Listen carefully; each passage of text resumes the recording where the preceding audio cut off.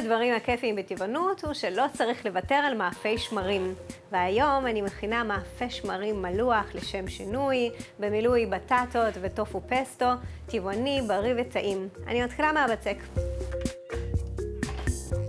בשביל זה אני אצטרך כף וחצי שמרים יבשים, נכנס לקערה, כוס מים, שלוש כפות סוכר, חצי כוס שמן,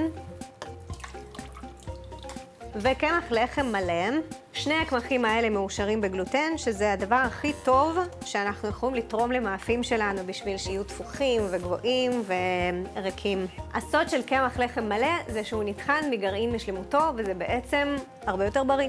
אני מוסיפה את תערובת הקמחים למיקסר, סוגרת, ומפעילה תחילה במהירות נמוכה.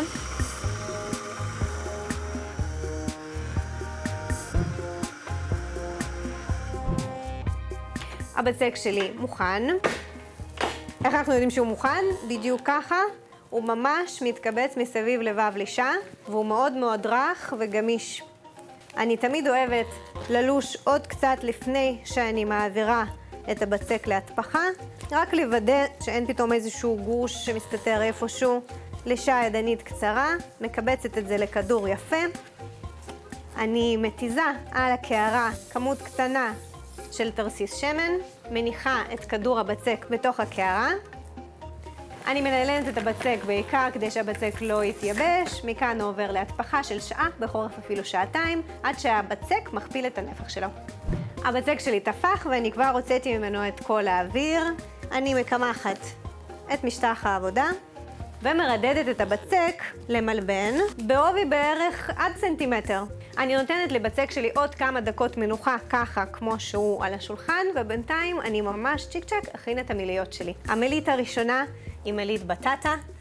זאת בטטה שכבר בישלתי, סיננתי וקילפתי, וכל מה שנשאר זה ממש למעוך אותה. אני מועכת את זה עם מזלג, אפילו לא צריך שום מכשיר מיוחד, זה הכי קל והכי נגיש. טיבול פשוט, מלח, ובשבילי כמון, מבחינתי אם אין באוכל מלוח כמון זה לא אוכל, אני שמה מלא, אני אוהבת. ומערבבת. והמלית השנייה זה כמו פסטו רגיל, רק בשדרוג נהדר של טופו, שנותן לנו גם טעם וגם המון המון ערכים תזונתיים, זה 100% חלבון צמחי. אז אני פותחת את מעבד המוזיאון. טופו זה חומר גלם מלא מלא בחלבון, וזה מאוד חשוב לכל ה... טבעונים וצמחונים, מי שלא צורך אה, חלבון מהחי. אני מעבירה אותו לקערה עם מסננת כי הוא בא עם נוזלים, ואחרי סינון ממש קצרצר, אני מעבירה אותו למעבד המזון. לכאן נכנסים כל עלי הבזיליקום האלה, שייתנו לנו מלא ארומה וטעם וצבע ירוק משגע.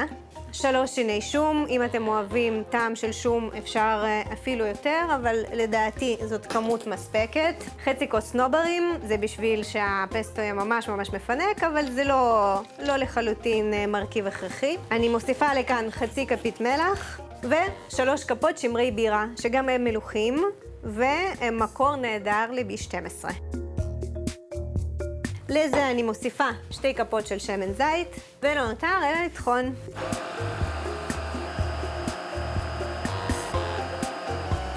תראו, קיבלתי כאן ניסה אחידה וחלקה, פסטו בתגבור של טופו, ואם הייתם רק יכולים לארח את הדבר הזה, זה פשוט מושלם. הכל פה ריח של בזיליקום. פשוט מניחה תלוליות כאלה על הבצק ומורחת. בצד הקרוב אליי כמעט עד הסוף, ובצד הרחוק ממני אני משאירה איזה כמה סנטימטרים נקיים, כדי שיהיה לי איך לסגור את המאפה.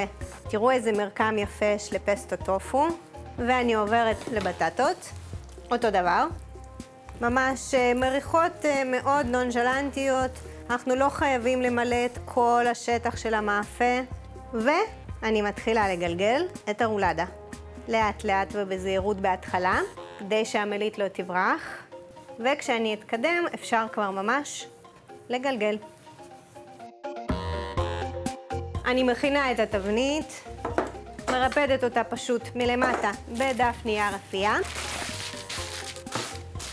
אני מתיזה כמות קטנה של תרסיס שמן. מקמחת טיפה את משטח העבודה לפניי כדי שלא יידבק. אני מזיזה אליי את הבצק, ובזהירות חותכת אותו לשמונה חלקים. קודם כל חצי-חצי, כל חצי עוד פעם חצי-חצי, ואחר כך כל רבע שוב חצי-חצי. בצורה כזאת יהיו לנו שמונה שבלולים בגודל דומה, ואת השבלולים האלה אני מסדרת בתבנית שבעה מסביב ואחד במרכז. אני מכסה אותם ומטפיחה עוד בין 20 ל-30 דקות. אחרי זה אני מתיזה עליהם קצת תרסיס שמן, זה יגרום למאפה להיראות אה, שחום ואחיד ויפה. ואחר כך זה נכנס לאפייה לתנור שחיממתי מראש ל-180 מעלות, ל-50-60 דקות, עד שהמאפה זהוב ושחום ויפה מאוד. והנה יש לנו מאפה מלוח טבעוני, בריא וטעים, מלא בניחוחות וטעמים וגם בצבעים מהממים של ירוק וכתום.